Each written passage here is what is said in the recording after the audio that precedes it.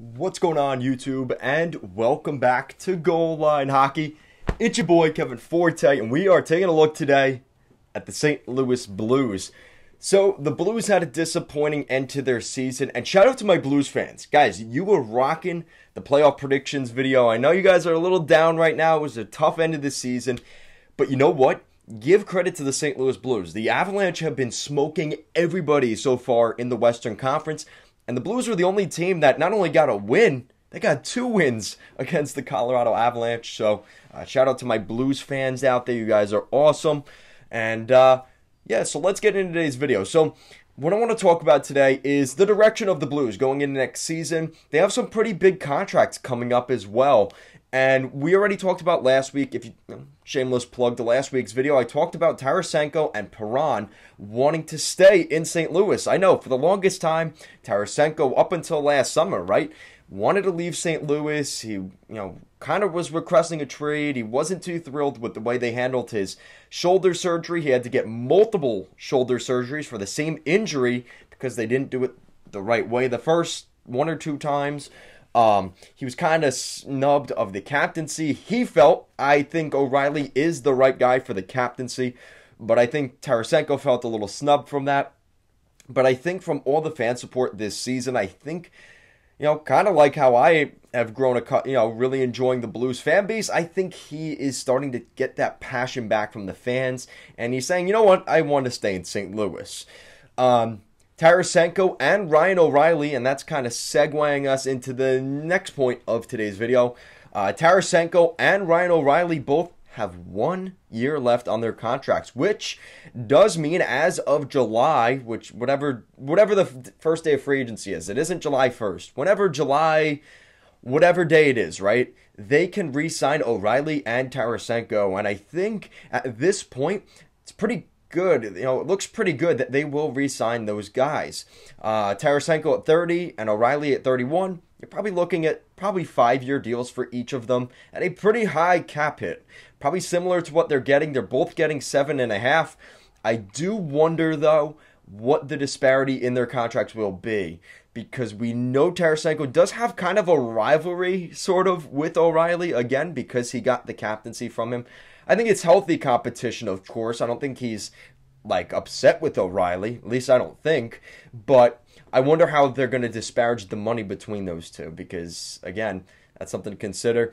Uh, Tarasenko does have a no trade clause, but at this point, it doesn't seem like it matters because he's likely going to stay.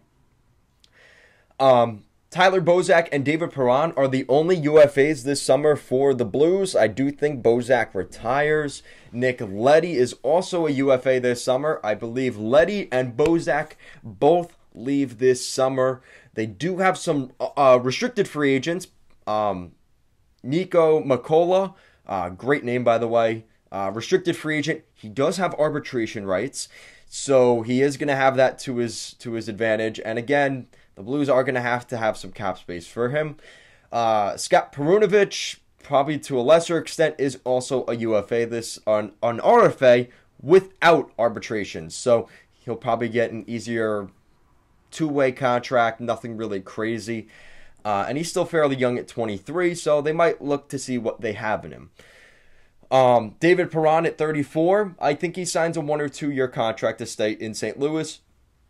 He's been bounced around the league, right? I mean, it's one of those things that's like you could put water at the top somewhere and it it ends up going to the same sump, right? Because it always ends up going down and it leaks its way to the lowest point.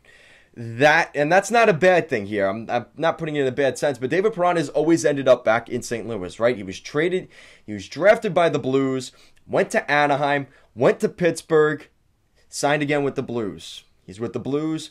He goes in the expansion draft to Vegas and then inevitably re-signs with the St. Louis Blues. So he's kind of had that track record of always coming back to St. Louis. He definitely has some connections there, and um, he wants to stay there. So hopefully they get that done. He's probably going to take take a discount to stay with the Blues, especially with some of those big contracts coming up next season. Um, like I said, in O'Reilly and Tarasenko. So I don't see him signing for that crazy of a contract. Uh, this was from Jim Thomas, a Blues insider. The St. Louis Blues don't believe they need to make big changes to their roster this offseason. And I think that's kind of going with the sentiment that I just mentioned that this team is pretty good. Um, this is a good hockey team. And I really think that had it not been the Colorado Avalanche, they would have had a better chance. But that doesn't mean they should be complacent because at the end of the day, they did lose in the second round. They still lost you know, if you want to win a Stanley Cup, you have to beat those Colorado Avalanche teams, whether you met them in the second round or the third round or even in this Stanley Cup final from the Eastern Conference. You still have to find a way to beat those teams, and I think that's something that the Blues suffered from. Now, they do have a really good center core, a really good team overall, but again, I think there is some deficiencies on that blue line. Um, I like Faulk, I like Krug, I like Parayko. But Marco Scandella, Robert Bortuzzo, one of those two guys ends up being your fourth defenseman. That's where I see things a little bit more. It's a little bit more troubling after those first three guys. And you still have Calle Rosen, and, and it starts, and that's why Nick Leddy came in at the deadline, right? He was supposed to be that four defenseman. Um, and he did that to a lesser extent. He did a pretty good job, I would say. I like Nick Leddy as an Islander. Um, Ville Husso is going to leave in free agency as well. So you're probably looking at a team next year that doesn't have Ville Husso, Tyler Bozak, and Nick Leddy. Um, I think, truthfully, those are the three guys that are of really any significance to the Blues roster that won't return. Um, this is from uh, Jeremy Rutherford. Ryan O'Reilly is eligible to sign an extension this offseason and wants to remain in St. Louis. Again, kind of going with the sentiment we already talked about. Uh, the update on Ville Husso um, from Andy Strickland is Ville Husso could be the most sought after UFA goaltender this summer. And I think Blues fans are going to chuckle a little bit because remember the last time we heard about a Blues backup goaltender having one good season and all of a sudden he gets a big ticket in Buffalo? That's right, the Carter Hutton Project. So I think Blues fans should very much stay away from re-signing Ville Husso. As good as he was this season, don't invest big money into this guy. And I'm not saying this against Ville Husso. He had a great comeback season from two really bad seasons in St. Louis, and they were wondering if he would even be a comp a competent backup the last two years, right? But he comes in, has a good season, and uh, the show goes back to Jordan Binnington as he is their number one guy without Ville Husso next year. We already talked about this, but from Elliotte Friedman, uh, David pa- uh, David Pastrnak. Wrong video. David Perron is not expected to hit the free agent market this summer. Again, kind of going with the sentiment that he wants to return to St. Louis.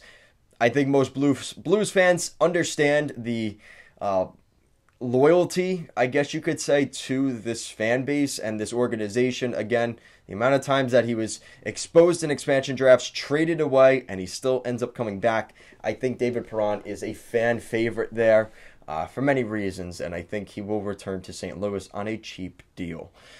So, with that said, let me know what you guys think in the comment section down below. I think the main point of this video is really talking about some of the guys that are going to leave. Like I said, my predictions are a forward Bozak, a defenseman Leddy, and a goaltender Ville. That's the nature of the beast in the cap, you know, the salary cap world. Not a bad thing though for the Blues. And like I said, I do think they've re-signed David Perron, Ryan O'Reilly, and Vladimir Tarasenko, and this team is kind of set moving forward. Guys, that's it for today's video. Thank you so much for watching, and I'll see you again next time.